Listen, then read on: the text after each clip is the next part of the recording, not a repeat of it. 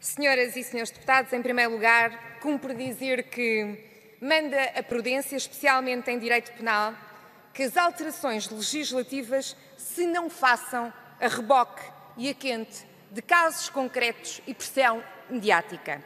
Senhoras e senhores deputados, sempre haverá decisões uh, menos corretas, contudo, esta Assembleia da República não pode nem deve ser um corretor judiciário.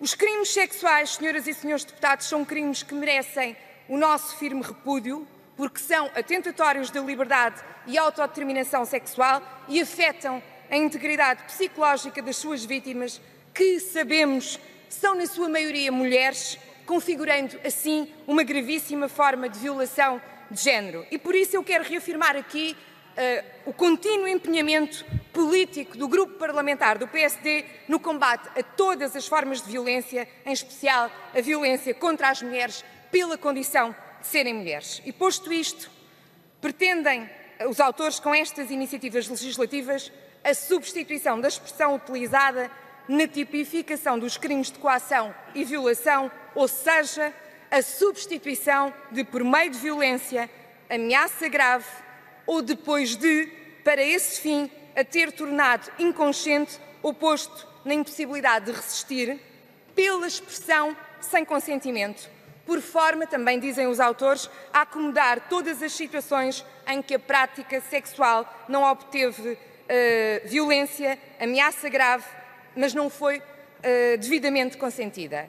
E, senhoras e senhores deputados, tal alteração, nós compreendemos os fundamentos que estão subjacentes a esta alteração, mas esta alteração implica um grande alargamento da previsão objetiva dos atuais tipos de crime de coação sexual e violação. Estamos, senhoras e senhores deputados, a retirar elementos objetivos na definição de crime, acrescentando-lhe subjetividade, particularmente em direito penal, onde vigora, como os senhores deputados saberão, o princípio da tipicidade, em que os comportamentos que constituem crime devem ser o mais objetivos e determinados possíveis. E por isso, senhoras e senhores deputados, nós mantemos a reserva, já expressa aqui em 2015, quando discutimos aqui este mesmo tema e que tem a ver com a introdução de um conceito indeterminado como o é o não consentimento, que tememos ser gerador de dificuldades interpretativas e de aplicação de lei, ao que acrescem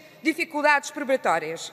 E no que diz respeito à natureza pública destes crimes, também temos fundadas reservas, senhoras deputadas. São crimes que se, que se inscrevem na esfera da intimidade de cada um. São crimes exatamente porque o valor jurídico que se quer eh, proteger é a liberdade e a autodeterminação sexual e é justamente a liberdade que se visa ao cautelar que fica comprometida ao permitir-se que um terceiro apresente caixa mesmo contra a vontade da vítima.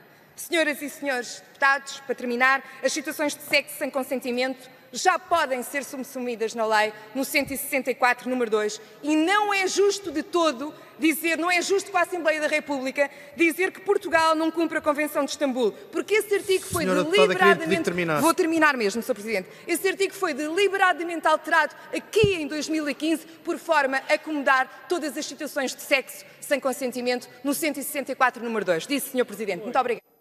Muito obrigado.